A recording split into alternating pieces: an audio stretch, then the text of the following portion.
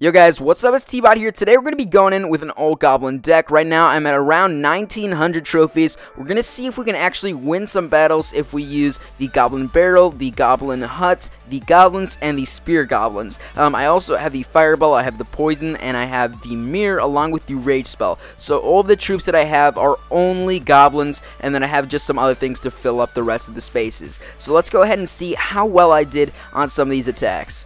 So this is going to be a pretty interesting deck to actually go ahead and attack with, but you can see that we're going to be attacking CJ Baker 07, and I think that I'm going to be dropping in a Fireball as soon as he drops in, uh, you know, the Goblin Hut, because I knew he was going to drop in a Goblin Hut or some sort of building, because people always start out with buildings, uh, so we're going to go ahead and Fireball the Goblin Hut along with the tower on the left side. Um, so we're going to be easily able to take out a few of these Spear Goblins. I think I'm going to be dropping in my Goblin Barrels on the right side with the mirror, and you can see that the giant skeleton is going to be attacking my left tower. My goblins are going to go out there, and it looks like they're going to be able to do quite a bit of damage against him, but they also um, got taken out by that bomb you can see right there, and it looks like the his ice wizard is going to be able to take out my left tower, and there it goes. There is the first crown for him, now, I'm still crownless on this raid, but hopefully we can actually clean it up towards the end. So we still have 2 minutes and 5 seconds to go ahead and take out his tower on the right side and also uh, take out his main tower or take out the left tower. So you can see I'm going to drop in another Goblin Barrel. I should probably pay attention to the Musketeer and the Knight he just dropped in, um, but we just got that first crown and it looks like I'm going to be uh, a little bit in trouble. I'm going to drop in the Poison Spell just because I haven't used the Poison Spell yet. It's going to be able to do quite a little bit of damage, um, and you can see right there the Musketeer and the Knight are going to go down. I'm going to drop in my Spear Goblins, which are level 9. Now, if you guys were actually to try out this deck, you know, in the 2000 range, you guys would probably get demolished because right now, things aren't looking too good for me. This guy is using high-level troops, and my goblins aren't standing a single chance. You can see that my tower on the right side has 200 HP left, um, and we still have a minute and 20 seconds, so let's go ahead and see what happens. The Ice Wizard is going to get taken out, or virtually taken out, now what I think I'm going to do is go ahead and attack from the left side. We still have a minute remaining and he's going to be able to take out my last tower there with one of the spear goblins. So I'm going to drop in the goblin barrel on the left side. We're going to be trying to take that out 60 seconds remaining on the raid with double elixir. Can we finally, you know, come back and clutch it? So I'm going to drop in a rage spell and I basically just wasted that rage spell because he had a level 5 Valkyrie. Now this goes to show why you shouldn't use a goblin deck. You can see that I'm getting beat by a level 7. We're going to lose on this raid. He's going to get 3 crowns. I'm going to get 1 crown. And this guy, you know, honestly deserved it, but the goblin deck is just so, so horrible, so I do not recommend it at all.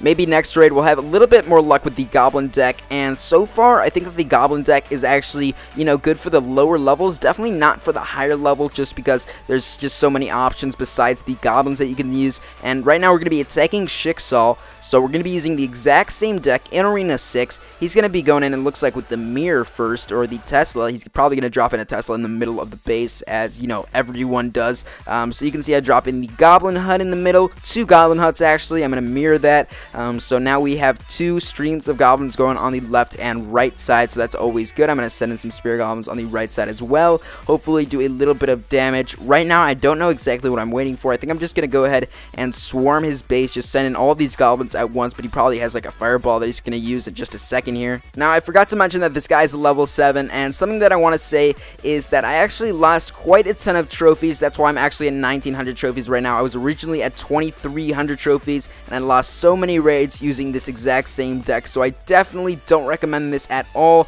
His Giant is going to be able to take out both of my Goblin Huts, it looks like. One is actually going to manage to stay up. We still have two minutes remaining to actually do a little bit of damage here. And as you can see, if you notice on his sort of screen, he has 10 elixir. And he's going to be holding on to the fireball for a very, very long time. And the reason for that is he's not actually playing the game. And I think that maybe his mom told him to get off or something. Or he just had to go. So this is the only raid that I won with this deck around this trophy count. So I definitely do not recommend you using this. You can see that I'm going to go ahead and use as many goblins as I can.